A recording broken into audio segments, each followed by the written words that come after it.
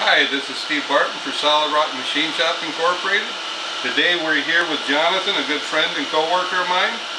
Jonathan is uh, going to make a, a, set of bench stones. Uh, if you've been watching our series, uh, you, you can see that the last few videos we've been talking about these uh, bench stones uh, that once you take a diamond wheel and grind, get all the grit on the same plane, uh, that it just changes the whole dynamic of these stones. They got uh, different uses, uh, but they're pretty awesome.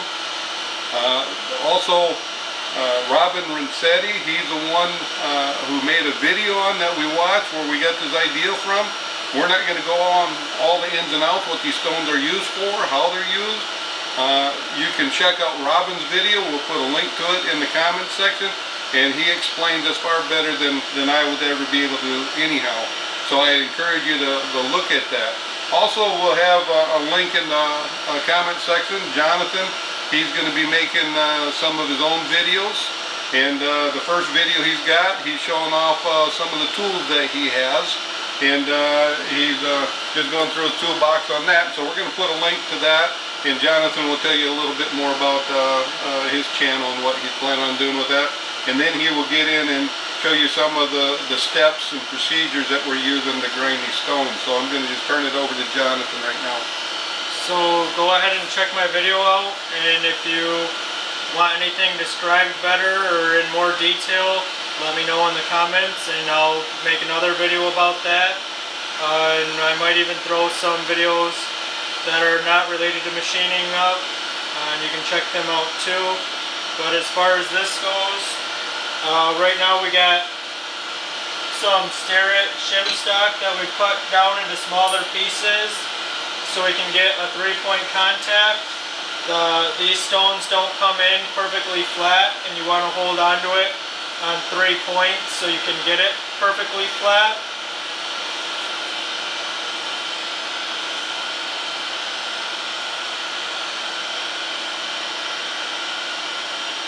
And you just want to get it blocked in there pretty good. There's another video about Steve making this that you should go check out if you haven't seen it already. Um, and to use this, what we're going to do is use a zip tie to kind of hold this piece up on an angle and then take this out right before the magnet's turned on so it pulls it pulls the stone down to the magnet. It'll also push it into the back stops and keep it held in place.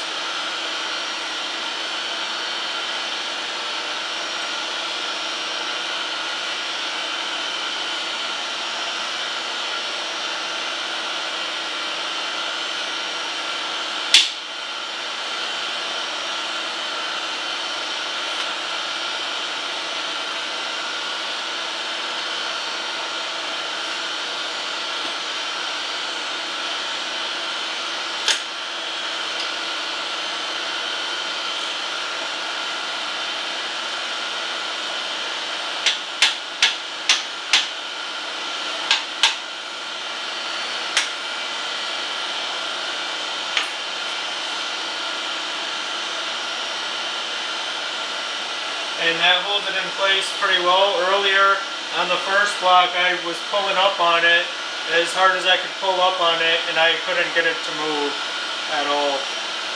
So it's pretty good setup. So I just touched off on the stone and you can even see just from touching off it's not flat.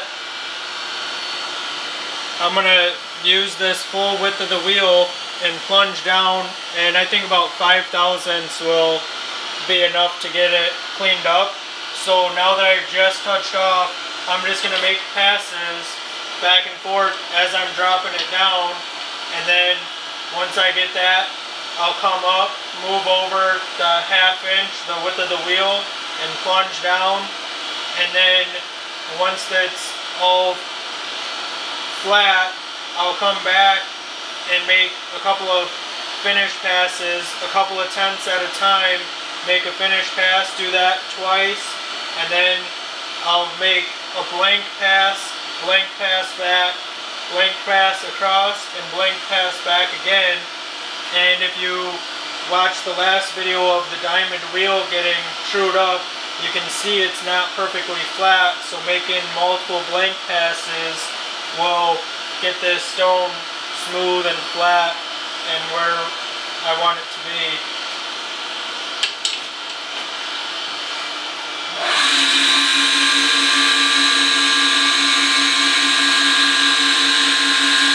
When I make the blank finish passes, I'll have a slower speed here and a slower cross speed than roughing it in.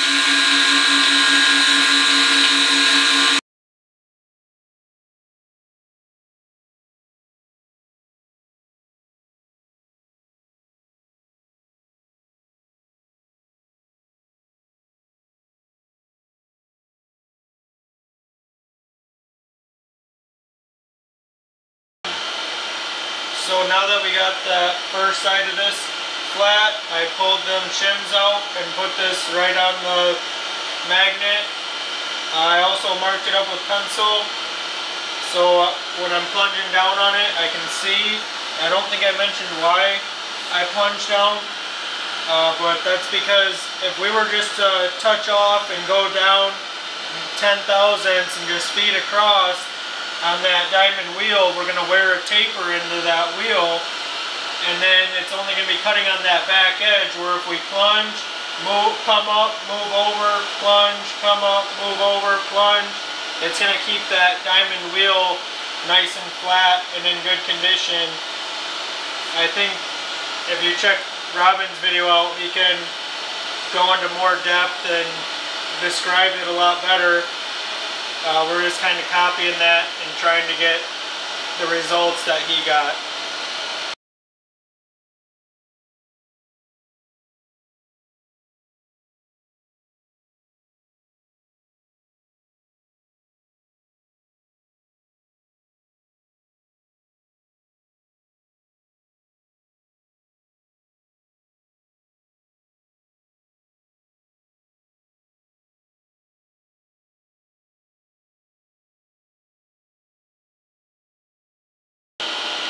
Alright, now we've got the biggest surfaces ground on these two stones and I kind of just want to show you how it works. Um, on Robin's video, he always said to rub them together to clean anything out before every use and I just want to show you this grind finish. This is right off from the surface grinder and then just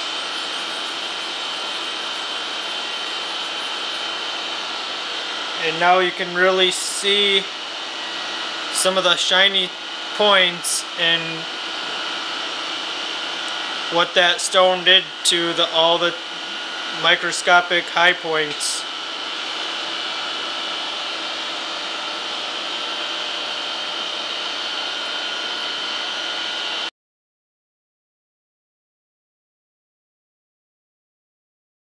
And if you like what you see, hit the like button and subscribe and we'll see you next time.